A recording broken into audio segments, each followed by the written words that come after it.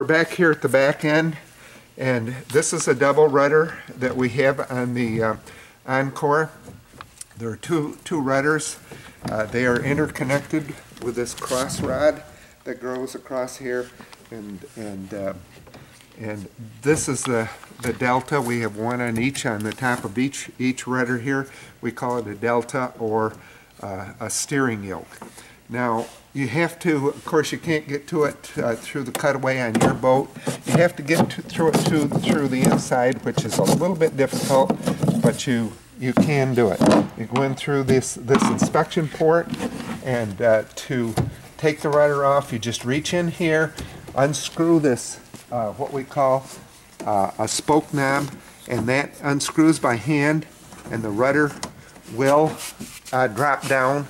Right now it's pivoting down there bottom. Uh, you don't have to worry too much about the rudder. You do have to worry about this, just like you do with a quarter turn fastener. You don't want to drop it down inside of the boat here. But then this is the um, this is a delta. You reach in here.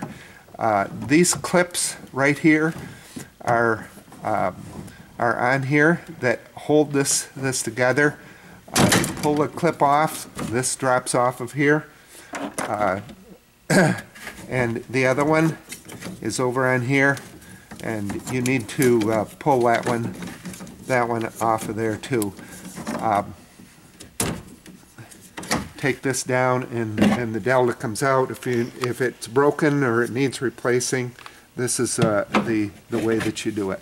Then you put it back in, of course, in the in the reverse way, and it is a little bit difficult, but not impossible, to do this with with one hand through that inspection port, and that's the way that you do it right there. Um, and um, then this this one, of course, you put in in the, the same way. Um, put it on there, and um, you can put that, that clip on.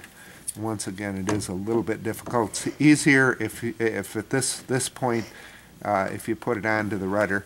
So I guess we're gonna, we're gonna go ahead and do that. I'm gonna, gonna put the rudder back up through, and you have to be, be very careful. that This bushing here does not get knocked up out of the, uh, the rudder tower here and down into the boat. So when you put the rudder back up through, make sure that that bushing is in place with your hand. Uh, It's helpful if you have another person uh, uh, uh, help you put the rudder up through. And I'm